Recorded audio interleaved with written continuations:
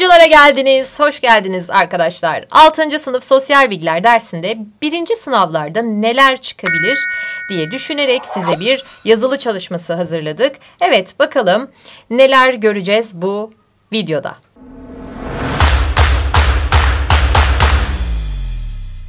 Evet bakalım. Aşağıdaki cümlelerde doğru olanlara doğru, yanlış olanlara yanlış yazınız.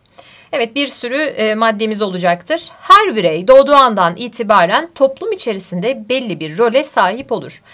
Rollerimiz neydi? Doğduğumuz anda bir kere anne babamızın evladı olduğumuz için evlat rolümüz vardı. Yani bu şıkta e, bu şıktaki cümle doğru olarak atfediliyor. Kişilerin sosyal rolleri doğdukları andan itibaren yaşamları boyunca hep aynı kalır. Hayır, aynı kalmayabilir. Mesela ben e, sosyal rolüm öğrenciyken bu öğrenciliğim bittikten sonra iş hayatına atıldığımda öğretmen rolünü üstlendim. Yani hep aynı kalmadı. O yüzden buna ben yanlış bir ifadedir diyorum. Bazı roller hayatımız boyunca bizimleyken bazıları duruma ve zamana göre değişebilmektedir. Ben ömrümün sonuna kadar evlat olarak kalmam gibi. Ömrümün sonuna kadar anne babamın çocuğu olduğum için evlat rolüm kalacaktır. Fakat öğrenci rolüm zamana göre değişecektir. O yüzden bunu da doğru olarak kabul ediyorum arkadaşlar. Geçiyorum diğer sayfama. Yine doğru yanlışlara devam ediyoruz. Arkadaş çevresi bireyin içinde yer aldığı ilk sosyal kurumdur. Biliyorsunuz ki aile içinde bulunduğumuz ilk e, hem kurumdur hem de gruptur. E, ama sosyal kurum dediği için arkadaş çevresi bir kurum mudur, grup mudur onun farkına varmam gerekiyor. Kurum olmadığı için bu ifadede yanlıştır diyorum. Grup deseydi doğru kabul edecektim. Sosyal rollerin zaman içinde değişmesi nedeniyle sorumluluklarımız da zaman içinde değişmektedir. Roller değişince buna bağlı olarak sorumluluklar da değişeceği için bu cümleyi de doğru olarak kabul ediyorum arkadaşlar. Toplumun bizden beklediği davranışlar olarak ifade edebileceğimiz roller çok çeşitli olabilir. Evet toplum bizden e, mesela bir öğretmenden beklentisi nedir? Güven, güvenilir olması, güven vermesi, dersini iyi anlatması gibi birçok e, rol atfedebilir. Evet bunu da doğru kabul ediyorum ben. Şimdi geçiyorum diğer soruma. Aşağıdaki verilenleri hak, sorumluluk ve özgürlük olarak eşleştiriniz. Yani bu maddeleri hangisi hakka girer, hangisi sorumluluğa girer, hangisi ya da hangileri özgürlüğe girer ona göre bir yerleştirme yapacağım.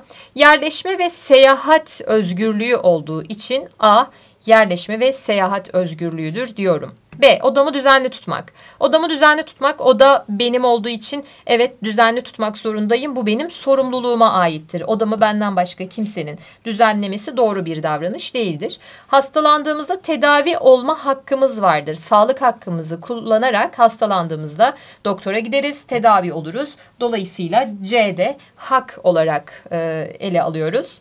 Ödevlerimizi zamanında yapmak. Evet öğretmenlerimiz bize ödevler verir ve biz bu ödevleri teslim tarihi neyse zamanında yapmamız gerekir. O yüzden bu bizim sorumluluğumuzda olduğu için sorumluluk başlığı altında topluyoruz. Yaşama en temel hakkımız olduğu için hak e, tarafına yazıyorum. Düşündüklerimizi serbestçe ifade etmek bu bir özgürlüktür. Düşüncelerimizi açıklama özgürlüğünü içerir. O yüzden F özgürlük başlığı altında toplanır.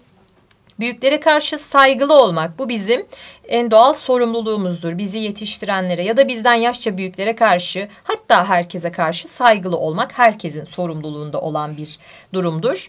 Okulun kütüphanesinden yararlanma hakkım vardır. Evet okulda bir kütüphane vardır ve burada yararlanması gereken kişiler öğrencilerdir. Okulun kütüphanesinden yararlanmak da sizin en doğal haklarınızdan biridir. Evet bu sorumuzu da bu şekilde cevaplandıracağız. Geçiyorum. Aşağıdaki kelimeleri uygun yerlere yerleştiriniz. Evet kelimelerim neler? Kavimler göçü, maniheizm, Çin Seddi, Kut, Uygur, Yu, Metehan, Kurultay ya da Toy, Orhun abideleri ve Töre. Şimdi e, bu sayfayı tekrardan geri dönüş yapacağız arka sayfaya geçtiğimizde. O yüzden biraz şurayı iyi bellemeye çalışın çocuklar. Yerleşik hayata geçen ilk Türk devleti bileceğiniz üzere sizin de Uygurlardır. Uygurlar yerleşik hayata geçen ilk Türk devletidir. Bunu eledim. Geliyorum nokta nokta Türk tarihinin ve edebiyatının bilinen ilk yazılı örnekleri olarak kabul edilir. Bunun hangisiydi? Tabii ki de Orhun abideleri dediğinizi duyar gibiyim.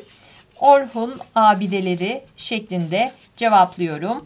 Aslında baktığınızda e, bu biraz bulmaca gibi bir şey. Eğer cevapları bilirsek tabii. Tarihte birçok milletin toplu şekilde Avrupa'ya doğru 375 yılında bakın size bir ipucu vermiş tarihini vererek yılında yaptıkları göçe biz ne diyoruz? Kavimler göçü diyoruz arkadaşlar. Bir önceki sayfamızda vardı zaten nokta nokta zamanında oluşturulan ikili sistem ile onlu sistem, devlet yönetimi ve askeri işlerin yönetimini kolaylaştırmak amacıyla oluşturulmuştur. Şimdi ikili sistem denilince aklıma kim gelmeli ya da onlu sistem? Hem de biliyorsunuz ki Türk Silahlı Kuvvetleri'nin kuruluşu da buraya dayanır. Metehan'ın kurduğu onlu sistemdir. O yüzden buraya da Metehan gelecek. Geçiyorum diğer şıkkıma. İlk Türk devletlerinde toplum yaşamını düzenleyen ve sözlü olan kurallara ne denirdi? Töreleri vardı Türk toplumunun değil mi? Töreler sözlü olarak ifade edilirdi ve bunlar e, aslında hukuk kuralları olarak da bilebiliyoruz bizler. Geçiyorum. Çinliler tarafı nokta nokta Çinliler tarafından Hun akınlarından korunmak amacıyla yapılmıştır. Tabii ki de Çin Seddi Türk akınlarından korunmak amacıyla yapılmış idi diyoruz. Evet G şıkkıma geçiyorum. Uygurların nokta nokta nokta benimsemeleri onların savaşçılık özelliklerini kaybetmelerine neden olmuştu. Şimdi burada bir duralım. Uygurlar hangi dini benimsemişlerdi? Maniheizm dinini benimsemişlerdi ve bu e, et yemeyi yasaklaması, ve bunun sonucunda da savaşçılık özelliklerini yitirmelerine sebep oluyorlardı. Çünkü neden? Maniheizm dini et yemeyi yasakladığı için belli bir güç kabiliyetinden yoksun kalıyorlardı. Bu da savaşçılık özelliklerini kaybetmelerine neden oluyordu. Geçiyorum. Eski Türk devletlerinde devletin başındaki Kaan'a Tanrı tarafından verildiğine inanılan inanış nokta nokta anlayışıdır. Şimdi kut anlayışı diye bir anlayışımız vardı. Hükümdarlığın Tanrı tarafından verildiğine inanılıyordu Kaan'a. O yüzden buna da kut cümle kelimesi getiriliyor. İlk Türklerde ölümden sonraki yaşama inanırlar. Ölen kişileri eşyalarıyla birlikte nokta nokta adı verilen bir törenle gömerlerdi. Yu ölü gömme törenleriydi hatırlayacağınız üzere. Yu ölü gömme törenlerinde ölen kişileri eşyalarıyla birlikte gömerlerdi. Hatta bir de balbal adını verdiğimiz yaşamlarında e, savaştıklarında işte kimleri e, kaç tane asker öldürdüyse o e, asker adedince balbal denilen e, küçük heykelcikler heykelcikler dikerlerdi bu mezarlarına. İlk Türk devletlerinde devlet işlerinin görüşülüp karara bağlandığı meclise biz tabii ki büyük kurultay toplanıyor ya da toy ya da kengeç de diyebiliriz. Peki aşağıda aşağıdaki şemada boş bırakılan yerleri doldurunuz. Kültürümüzü oluşturan temel unsurlar. Bunda bir sürü sayabiliriz. Mesela dil, mesela din, mesela sanat, mesela tarih, Mesela gelenekler ya da görenekler. Mesela gelenek ve görenekler kültürümüzü oluşturuyordu. Mesela bayramlar gibi bunu birçok yazabiliyoruz ya da mimari yapıyı da ekleyebiliriz. Temel unsurlardır. Bir diğer sorum. Toplumda üstlendiğiniz rolleri yazınız. Şimdi 6. sınıfa giden bir bireyin rolleri acaba toplumda ne olabilir? Gelelim. Evdeki rolünüz ne olabilir arkadaşlar? Evde anne babanızın evladısınız. Dedeniz, babaannenizin ya da anneannenizin torunu. Amcanızın, dayınızın, halanızın e, ya da teyzenizin yeğeni olabilirsiniz. Abla olabilirsiniz. Abi olabilirsiniz. Kardeş olabilirsiniz.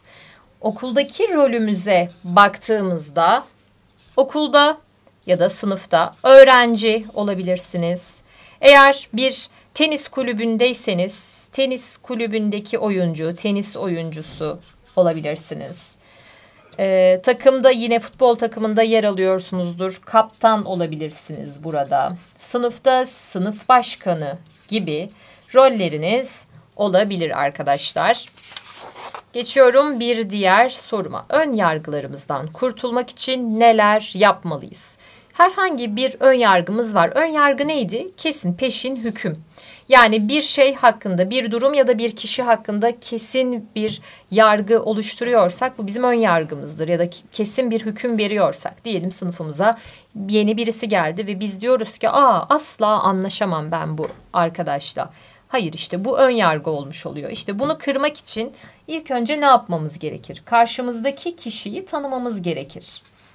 Karşımızdaki kişiyi tanımaya çalışmak. Empati kurmak, e, tanımaya çalıştıktan sonra karşımızdaki kişinin de bir hayatının olduğunu fark edip empati kurmak bu noktada önemli. İletişim olmazsa olmaz. Karşımızdaki kişiyle iletişim e, kurmak, ona bol bol soru sormak, onu tanımaya çalışmak gibi bu e, maddeleri çoğaltabiliriz arkadaşlar ön yargılarımızdan kurtulmak için. Diğer bir soruya geçiyorum. Ee, sorularda genellikle soru kökünü okursam soruyu çözmek benim için daha kolay olacağı için ben de öyle yapıyorum ve soru kökünden başlıyorum. Kök Türk yazıtlarından alınan yukarıdaki bölümde aşağıdakilerden hangisi üzerinde durulmuştur? Çin milleti atlatıcı ve sahtekar olduğu için büyük kardeşi küçük kardeşe düşürdü. Bey ve halkın arasını açtığı için Türk milletinin ülkesi elinden çıktı. Evet bakalım hangisi üzerinde e, durulmuş. Çin milletinin biraz sahtekar olduğundan ve atlatıcı olduğundan bahsetmiş ve e, dikkat ederseniz büyük kardeşi küçük kardeşe yani aralara nifak sokmuş, birbirine düşürmüş ve bu halkın beyle arasını açtığı için de Türk milletinin parçalamasından bahsetmiş aslında. Bakalım. A. Çin milletinin Türk devletini parçalamak için uyguladığı politika. Evet cevap bu gibi duruyor ama ben diğer şıklarımı da okuyorum. İpek yolu mücadelesi. Metinde herhangi bir e, İpek yolundan bahsetmiş mi ya da herhangi bir ticaret yolundan bahsetmiş mi? Hayır. O yüzden bunu eliyorum. Çinlilerin Çin Seddi'ni yapmalarını, bir kere Çin Seddi ile alakalı bir şeyden de bahsetmemiş metinde. Var mı? Yok. O yüzden bunu da eliyorum. Türklerin milli kimliklerini kaybetmeleri.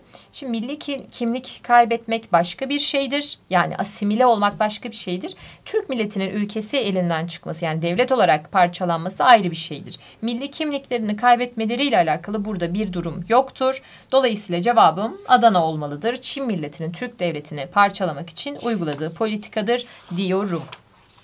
Geçiyorum bir diğer soruya. Meta'nın konuşmasından hareketle aşağıdakilerden hangisine ulaşılabilir? Ben Metehan, ordumu ve devletimi güçlü kılmak için ordumda düzenlemeler yaptım. Dünya tarihinde onluk sistemi uygulayarak bir ilke imza attım.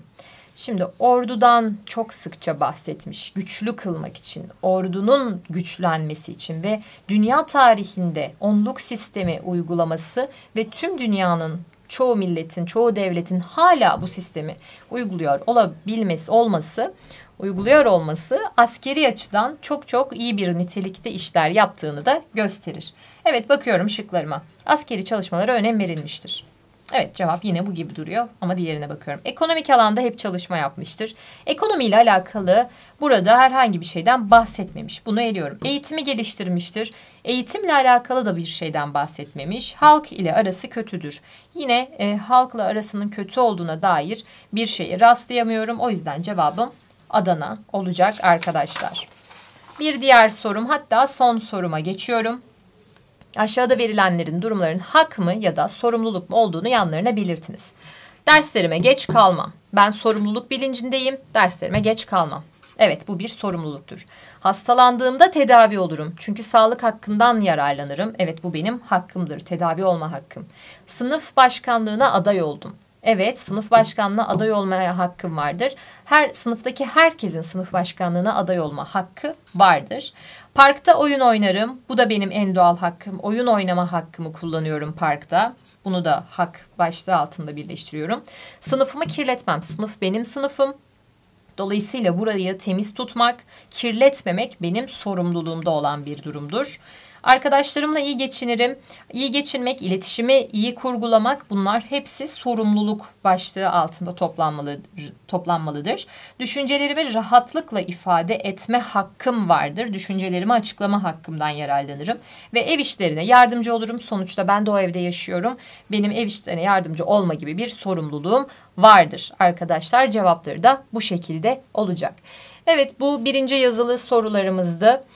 E, ikinci yazılı sorularında görüşmek üzere arkadaşlar. Bu videomuzu da bu şekilde sonlandıralım. Bir sonraki videoda görüşmek üzere.